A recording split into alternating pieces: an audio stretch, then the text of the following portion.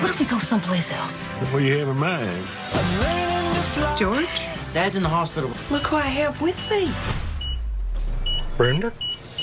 The new season of Young Sheldon, Thursday, October 7th on CBS.